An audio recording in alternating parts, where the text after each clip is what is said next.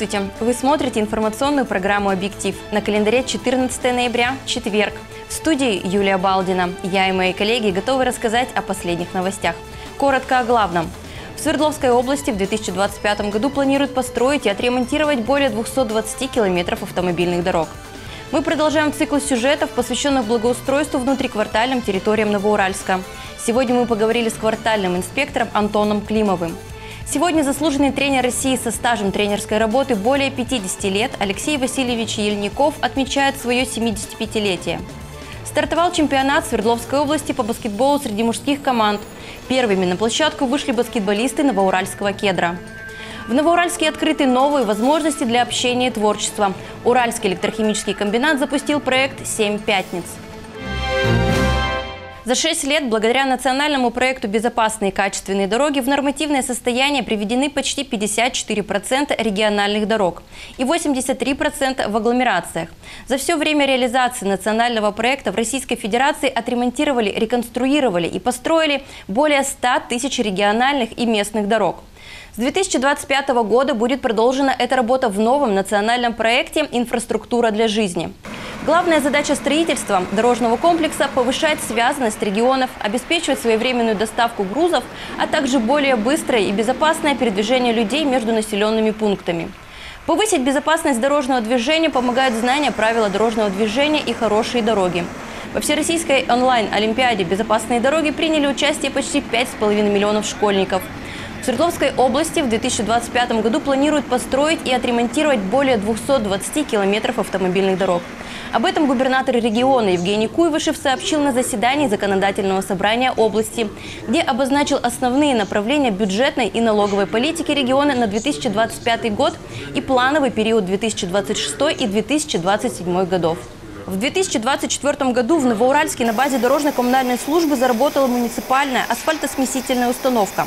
Это позволило выполнить весь запланированный объем летних ремонтов дорог и сэкономить бюджетные средства, отказавшись от закупки асфальта у сторонних предприятий. В числе крупных ремонтов, выполненных ДКС в городе в этом сезоне, капитальный ремонт улицы Победы с расширением проезжей части и формирование парковочных карманов, а также проезд стройиндустрии.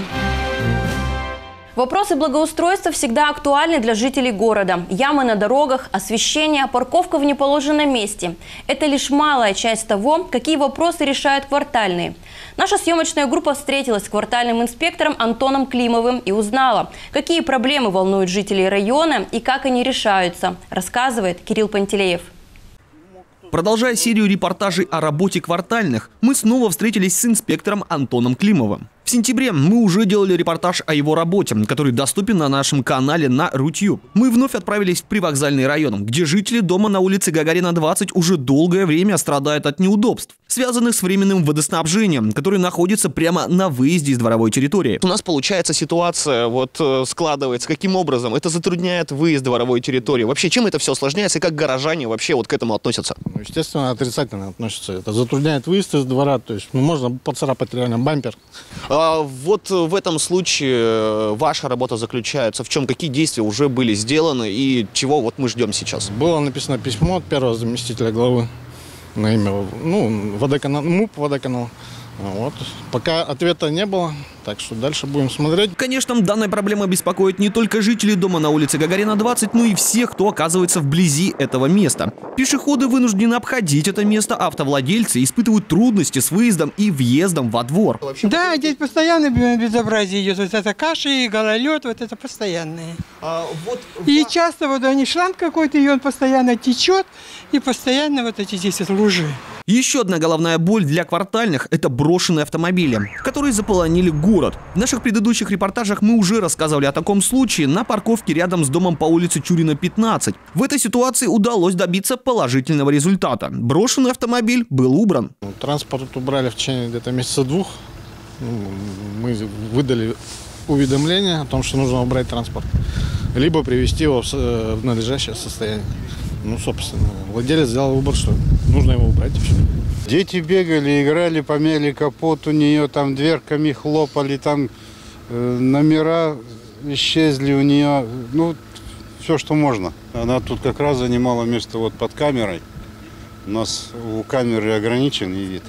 То есть там вот угол не захватывает, и вот тот угол не захватывает. А тут под самой камерой она занимала самое удобное место. Однако, пока мы снимали убранный автомобиль на улице Чурина, жители сообщили нам о новом случае брошенной машине, которая находится прямо рядом со школой. Это вызывает опасения, ведь она может представлять опасность для детей. Вот, на первый взгляд это брошенный транспорт, потому что там колеса выросли в землю, в прямом смысле этого слова. Ну вот далее я отфотографирую это все и сделаем запрос в МВД. Они должны провести действия по выявлению владельца.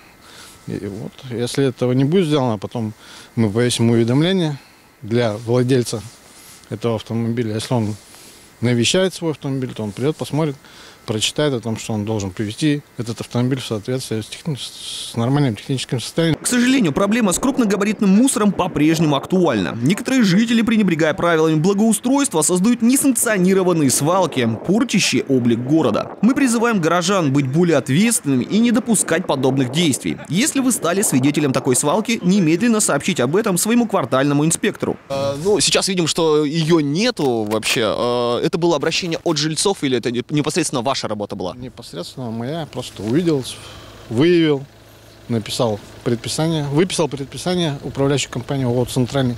И они, собственно, раньше срока даже все выполнили, вывезли. Теперь все хорошо, чисто. Работа квартальных играет важную роль в поддержании порядка и безопасности в жилых районах. Их активность способствует созданию более комфортной и безопасной городской среды, что в свою очередь положительно сказывается на качестве жизни горожан. Кирилл Пантелеев, Дмитрий Дедюхин, Новоуральская вещательная компания. В администрации Новоуральского городского округа в режиме автоответчика функционирует телефон доверия по вопросам противодействия коррупции, который вы видите на своих экранах. Позвонив по телефону доверия, новоуральцы могут передать информацию о ставших известным им фактах коррупции и иных нарушений антикоррупционного законодательства, совершенных работником администрации Новоуральского городского округа либо руководителем подведомственной муниципальной организации – Своевременное информирование о фактах коррупции позволяет компетентным органам более эффективно противодействовать этому опасному социальному явлению, оперативно реагировать на возможные коррупционные проявления.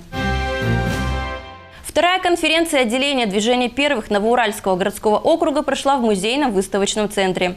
Конференция стала важной вехой для всех участников, ведь именно здесь подвели итоги первого года работы, обсудили новые цели и задачи, а также планы на ближайшее будущее, рассказывает Мария Лотова.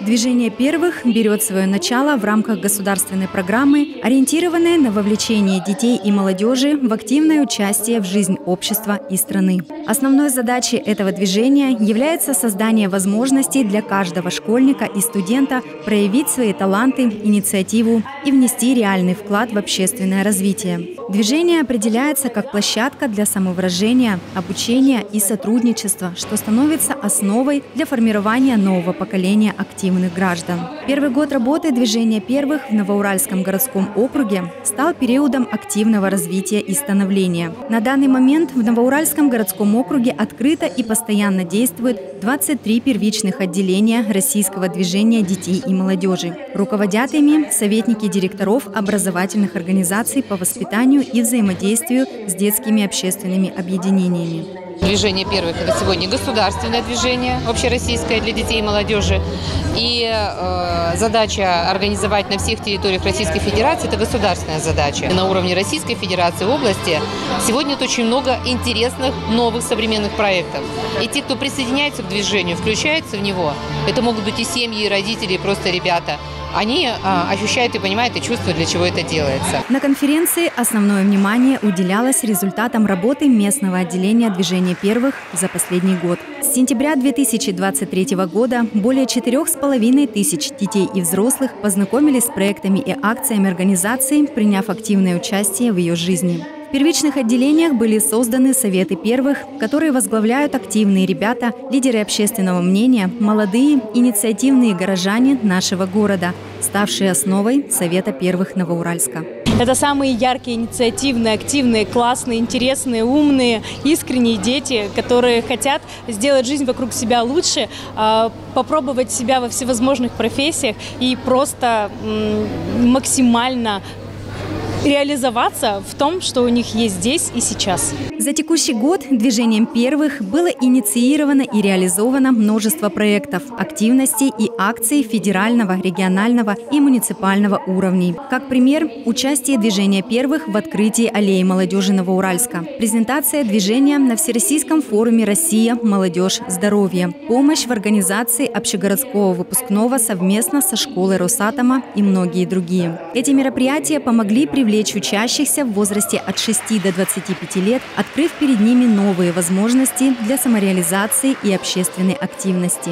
Участники охотно делились эмоциями и достижениями, полученными с момента проведения первой конференции. Мне важно оставаться в движении, потому что с каждым днем я узнаю что-то новое, я усовершенствую сам в себе, а, знакомлюсь с новыми людьми и очень весело провожу время. В движении первых можно приобрести много разных навыков, а, найти новых друзей, а также пообщаться с очень интересными людьми.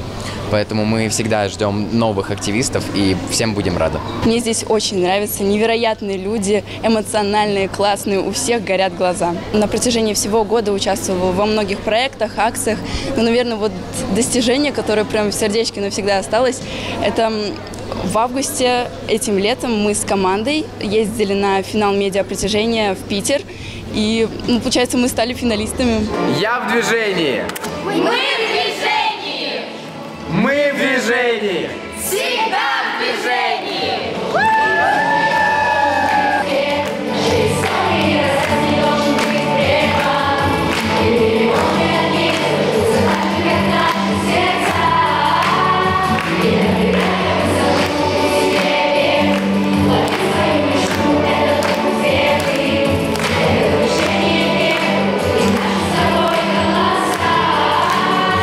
Завершающим аккордом конференции стал танцевальный флешмоб, наполнивший участников чувством единства и уверенности в будущем. Участники конференции единогласно поддержали дальнейшую стратегию развития движения.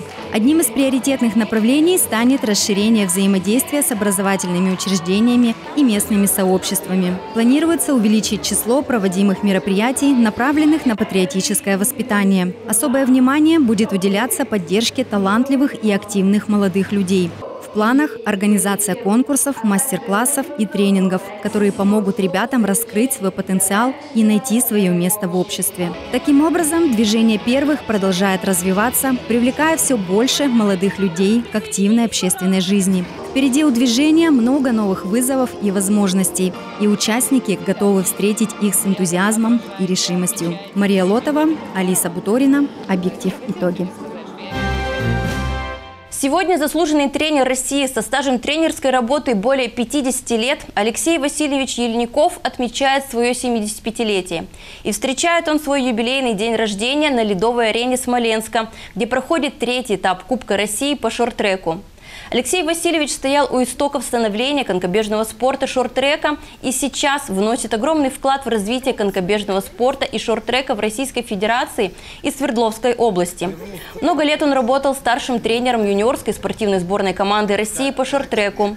В настоящее время Алексей Васильевич является старшим тренером по шорт-треку сборной команды Свердловской области, а также работает тренером-преподавателем спортивной школы Олимпийского резерва Новоуральска. За годы работы тренер подготовил целую плеяду высококвалифицированных спортсменов. 95% всех спортсменов сборной страны по шорт-треку прошли подготовку Алексея Васильевича. Он отличается профессионализмом, является признанным авторитетом в сфере своей деятельности – его труд был неоднократно отмечен администрацией, главой Новоуральского городского округа, Министерством физической культуры и спорта Свердловской области, правительством Свердловской области и Министерством спорта России. За большие заслуги в области спорта и в связи с подготовкой к 23-м Олимпийским играм 2014 был награжден памятной медалью президента Российской Федерации Владимира Путина. Свой юбилей Алексей Васильевич встречает на ледовой арене Смоленска, где проходит третий этап Кубка России по шорт-треку. И наши спортсмены, конечно, приложат все все усилия, чтобы порадовать своего наставника. Новоуральск на этих стартах представляет шесть спортсменов школы Олимпийского резерва. Глава Новоуральского городского округа направил в адрес Алексея Васильевича поздравительный адрес. Цитата. «Вы профессионал, чей трудовой путь неразрывно связан с Новоуральском и новоуральскими спортсменами. Быть тренером ответственно и почетно. Среди ваших воспитанников чемпионы России, Европы, мира и Олимпийских игр. Их успехи – это и ваша заслуга. Ведь в спорте больших достижений вершины покоряются только тем, чей путь уверенно сопровождал мудрый и отзывчивый наставник. Крепкого вам здоровья, благополучия и счастья. Спасибо за ваш труд и преданность делу. Конец цитаты. Стартовал чемпионат Свердловской области по баскетболу среди мужских команд. И первыми на площадку вышли баскетболисты Новоуральского кедра, которые провели свою домашнюю встречу с командой «Олимп» из Богдановича. Атмосфера на трибунах была напряженной, а игроки обеих команд продемонстрировали настоящий спортивный азарт. О том, как сложилась игра и какие моменты запомнились, расскажет Антон Сапогов. В чемпионате области по баскетболу участвуют 10 команд. Система розыгрыша круговая, затем игры плей-офф. Состав нашей команды с прошлого сезона практически не изменился. На площадку вышли все самые сильные игроки. Удалось сохранить состав команды. Добавились еще два новых игрока. Это Зубков Виталий и Прохоров э, Евгений, 11 класс. Мальчик в ДСШ занимался, тоже подключаем. А костяк команды сохранился. Ну, все тренируются, все хотят играть. Есть травмированные, правда, но ничего, это все восстанавливается в течение сезона.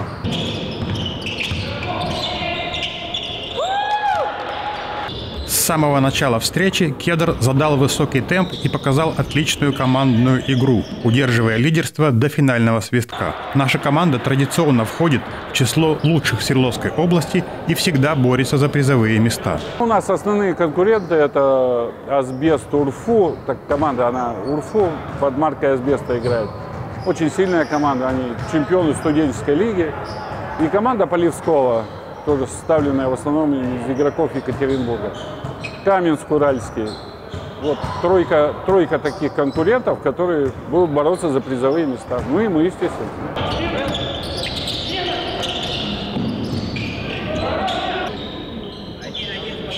Первая игра для наших баскетболистов сложилась очень удачно. Они уверенно победили гостей из Богдановича с разгромным счетом 105-50. Поздравляем команду и тренерский штаб с успешным началом чемпионата. Желаем сохранить боевой настрой и стремиться к новым победам. Антон Сапогов, Геннадий Донгузов, Новоуральская вещательная компания. В Новоуральске открыты новые возможности для общения и творчества. Уральский электрохимический комбинат запустил проект «Семь пятниц» и приглашает всех, кто хочет узнать о его деятельности и развеять мифы о закрытости предприятия. Вас ждут самые изотоповые вечера в атомном коворкинге и инновационном выставочном центре. Участие по предварительной записи. Вопросы можно узнать по телефонам, которые вы видите на экране. А уже завтра пройдет игра «Адреналин» с информационным центром по атомной энергии энергии. В завершении выпуска расскажу о погоде. По данным сайта Гисметео, в пятницу, 15 ноября, пасмурно. Температура воздуха ночью составит 0 градусов, днем минус 2. Атмосферное давление 732 миллиметра ртутного столба. Ветер юго-западный 4 метра в секунду. В субботу, 16 ноября, пасмурно. Температура воздуха ночью составит минус 2, днем минус 1. Атмосферное давление 726 миллиметров ртутного столба. Ветер южный 3 метра в секунду. Воскресенье, 17 ноября, пасмурно, снег. Температура воздуха ночью составит минус 3, днем плюс 1. Атмосферное давление 724 миллиметра ртутного столба.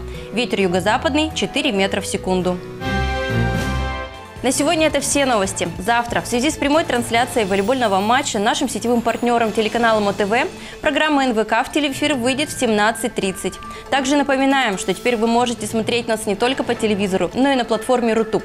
Переходите на наш канал по QR-коду, который вы видите на экране. Не забудьте подписаться, чтобы не пропустить важные события города. На сегодня это все новости. Всего доброго. До свидания.